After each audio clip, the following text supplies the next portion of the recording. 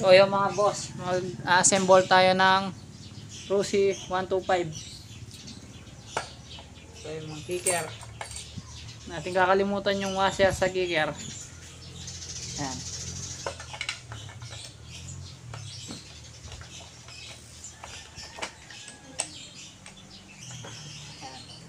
Sunod naman natin ang kanyang transmission. Ayan. Hindi nyo kakalimutan yung washer. Ayan. Kung magbabaklas kayo, kung wala naman issues sa transmission, gantong pagbaklas, nakalagay, hilayan nyo lang paangat para yung mga washer hindi mawala. Huwag natin hayaan magka-baklas-baklas lahat.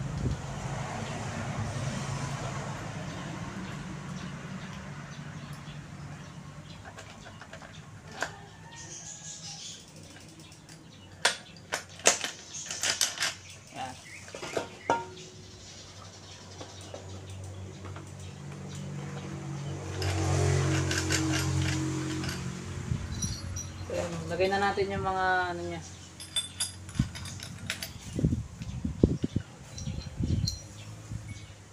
Ayan. Hindi naman kayo malilito dyan dahil may sukat naman yan.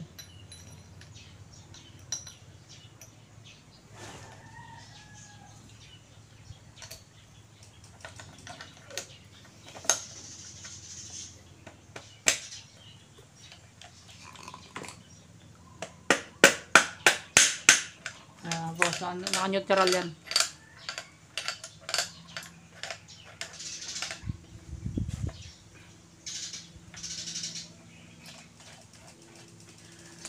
Sunod naman natin ang kanyang crankshaft. Crankshaft.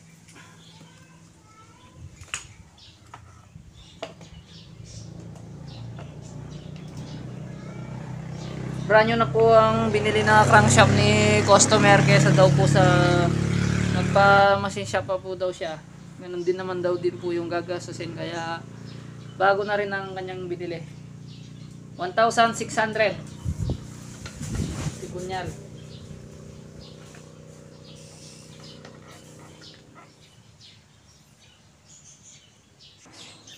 So yan mga boss, hindi po natin siya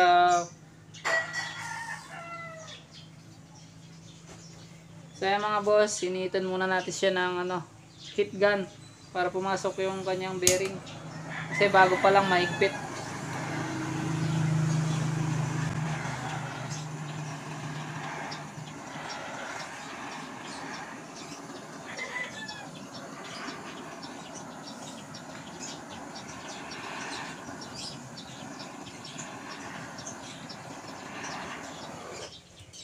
So yan mga boss, ilagay na natin yung kanyang crankshaft.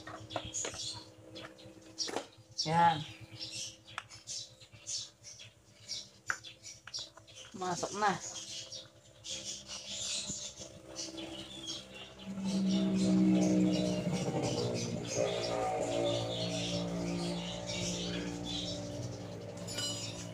So yung mga boss, lagyan muna natin ng oil.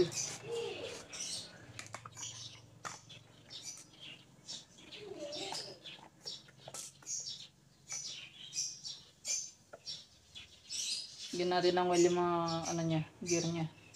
Para pag first start niya, hindi magkiskisan yung mga bakal. Para tumagal kaga para tumagal ang kanyang makina. Lagyan natin ng langis.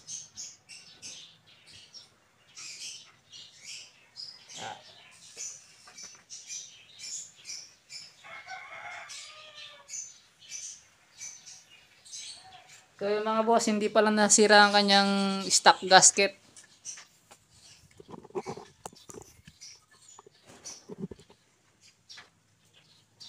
Ayan. Hindi pala nasira ang kanyang stock gasket. Yan pa rin ang gagamitin natin. Original stock gasket. 2C125.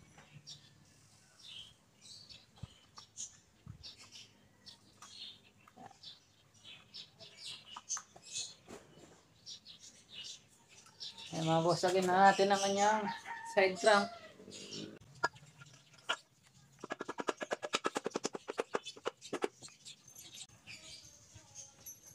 So yung mga boss, lagay na natin ganyan mga boss.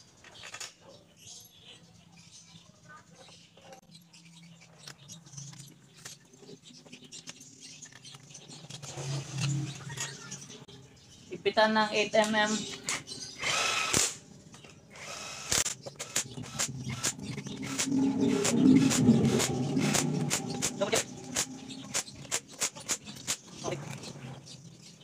Yung mga boss, check muna natin yung ano, cambio niya. Kung pumapasok ba yung gear, ito naka-neutral siya ngayon.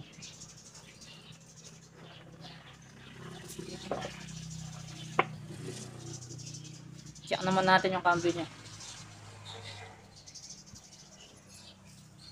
Napasok. First gear. Second gear. Third gear. Fourth. Fifth gear. Neutral. Ayan.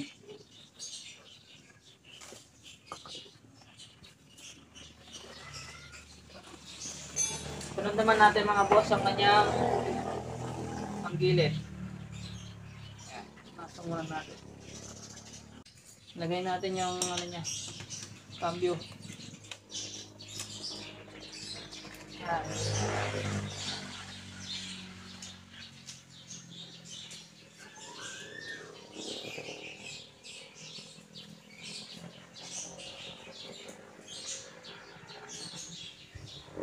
Lagyan natin ng konting langis.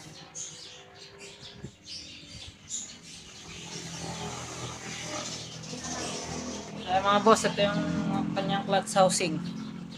Yan, bago. Lang.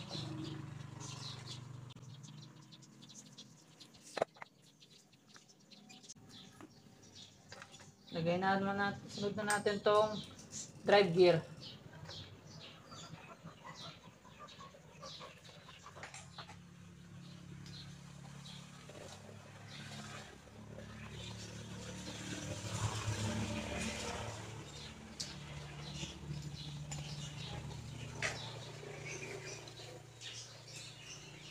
Sunod ang clutch lining.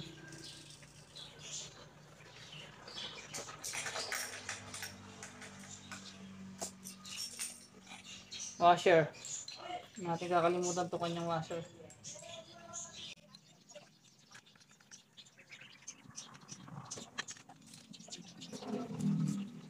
Lagay na po ang kanyang lock.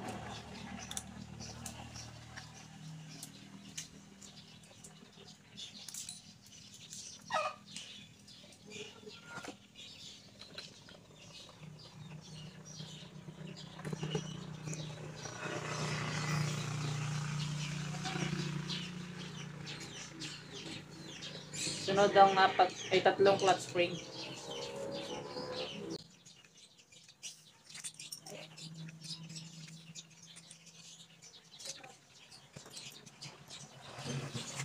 Dito sa part na ito mga boss, kailangan pantay-pantay ang hapit. Pantay-pantay lahat ang higpit.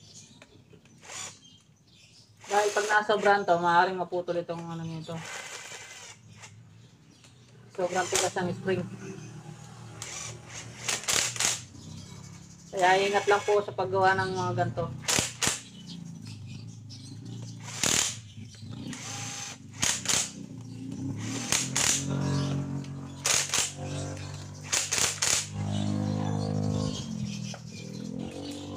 Na natin naman yung bearing.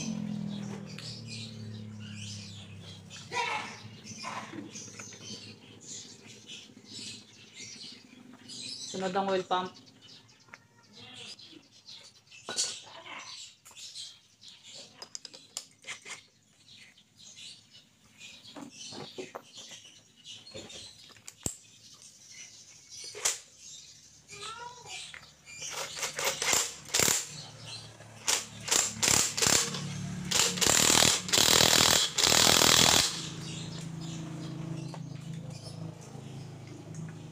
Ang kanyang takip.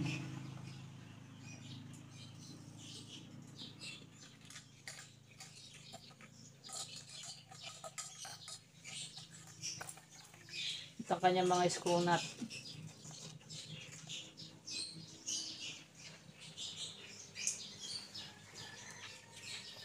Ayan mga boss. Okay na.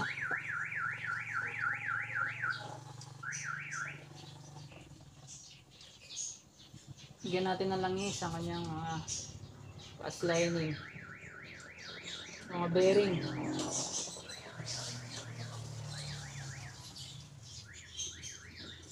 Bigyan din natin ng langis ang kanyang oil pump.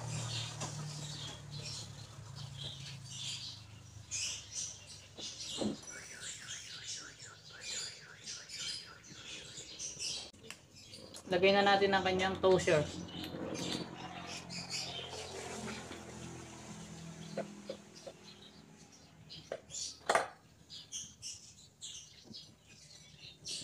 At isunod ang kanyang gasket.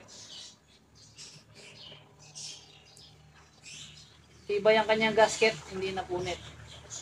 Kaya pwede pang gamitin.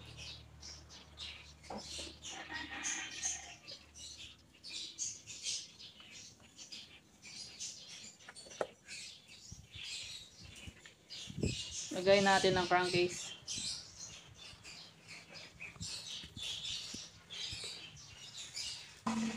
So yung mga boss, ilagay na natin yung kanyang crankcase cover.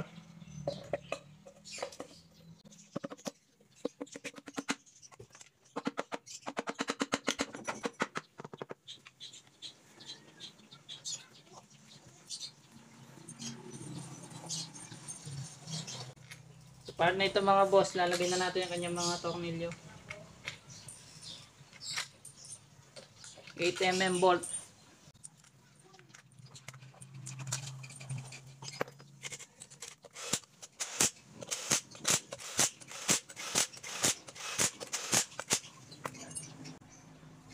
Boss, tapos na tayo dito sa ano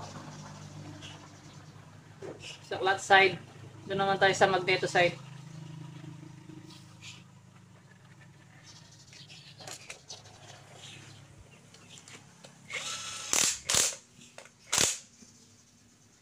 Baigtan na natin yung kanyang makina.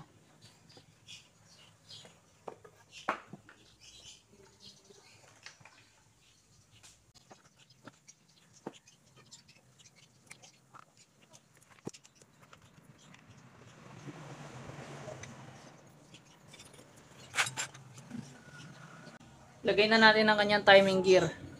Sigurado yung nakatapat dito sa ano niya. Top dead center niya. Yan. Yan, nakatap na yung dalawang tuldok.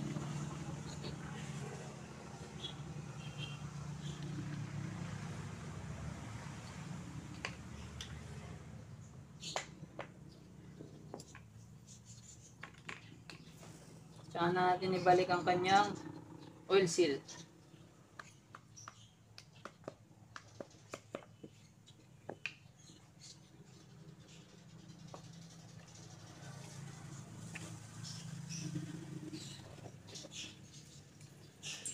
Lagay ang kanyang spring.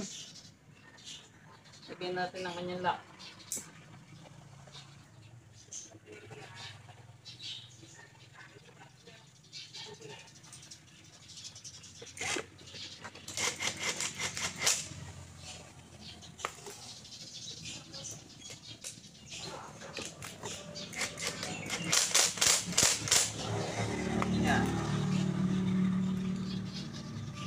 Lagay ang kanyang starter.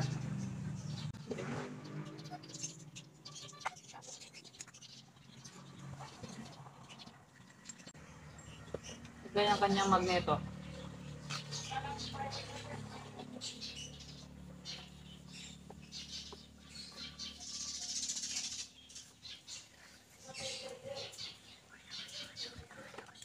Higpitan ng 14mm socket. Higpitan ng 14mm socket. Yan.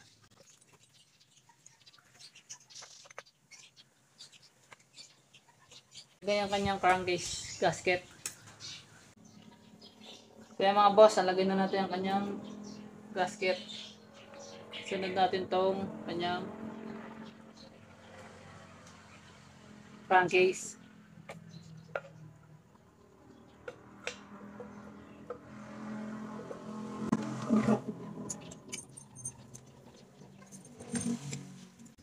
Ang kanyang starter.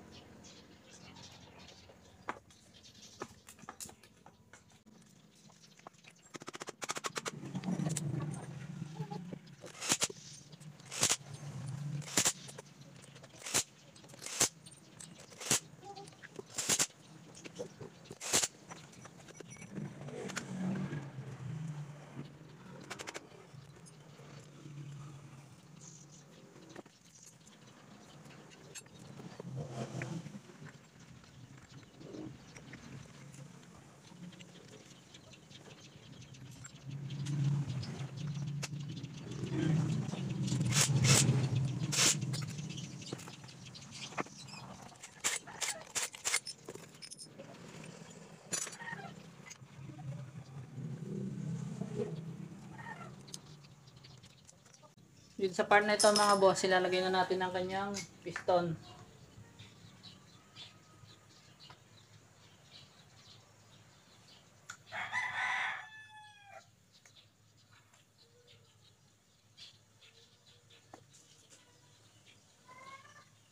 Sunod ang kanyang piston lock at huwag magkakalimutan maglagay ng basahan para hindi malaglag sa ilalim.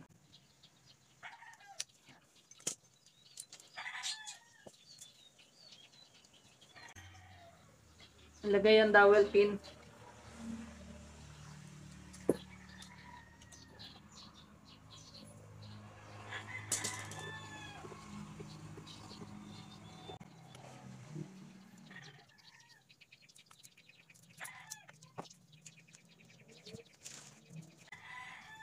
Ilagay ng bagong gasket.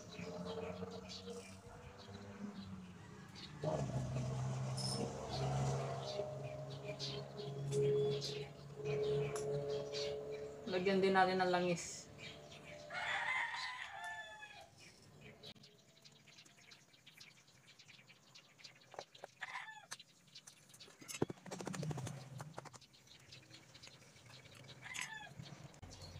Lagay ang bolt ng black.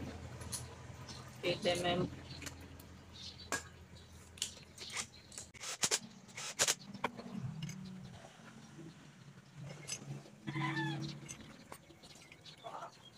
Lagay ang kanyang head.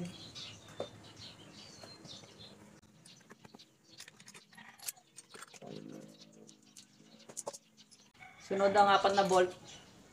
12 mm socket. Ayan.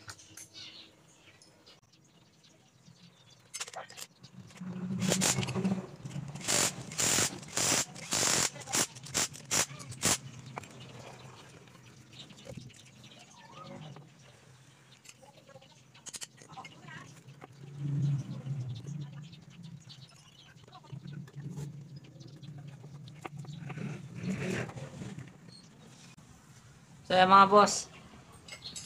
Lagay natin ang kanyang push rod.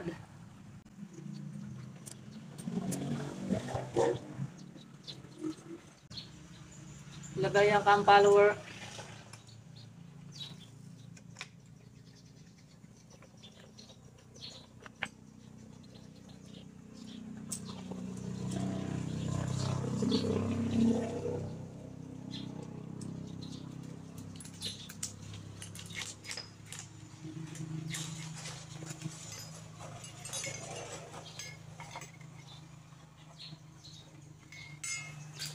Higpitan ng 12 mm socket.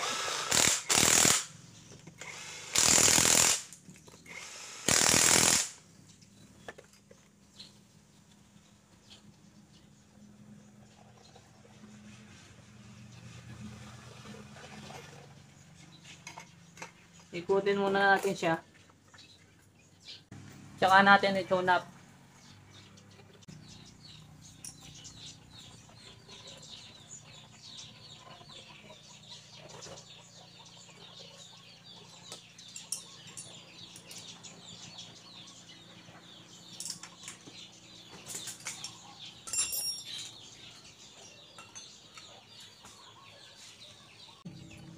Ang sukat ng tune-up natin dito sa intake 0.08 mm 0.003. 0.003. Oh.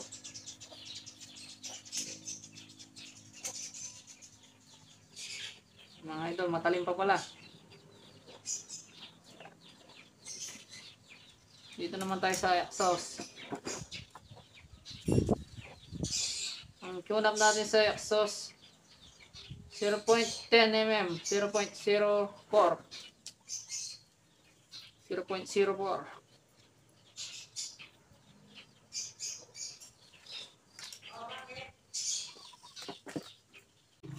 Eh mga boss, okay na.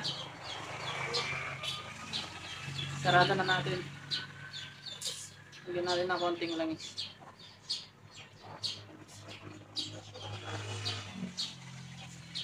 Yan.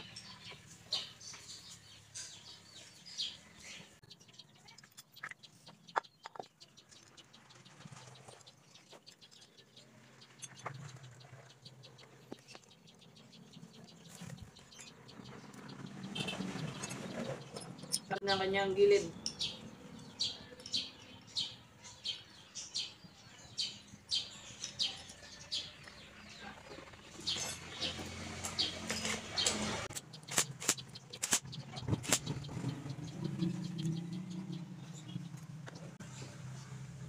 Kaya mga boss, lagyan na natin ang kanyang engine oil.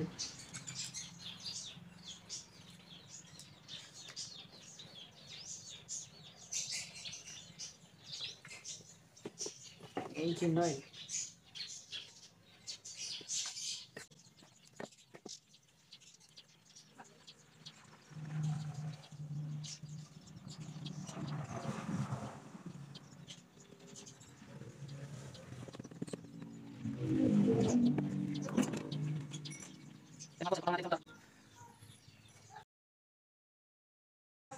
Mga boss, lagay na natin yung tangke. Malapit na umandar si Tatag.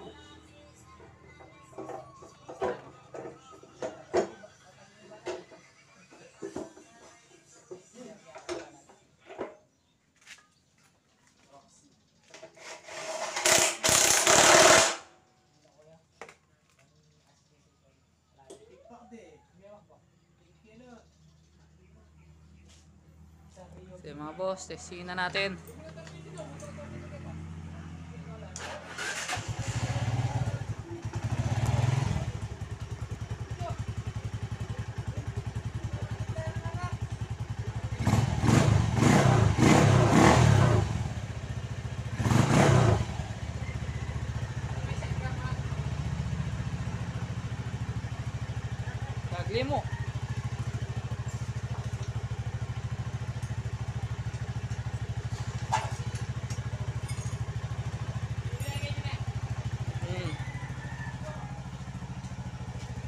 TikTok. Sabi ako mo.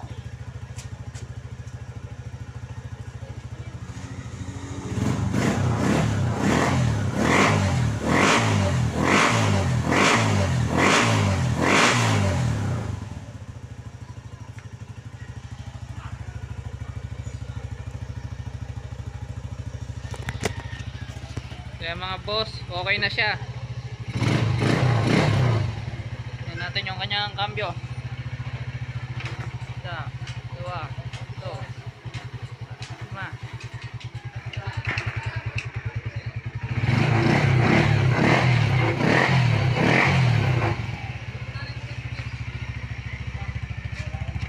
At sa housing. Brand yung crankshaft. Naublong din ang kanyang Naoblong din ang kanyang ano, magneto. Boss. Yung mga napalitan niya.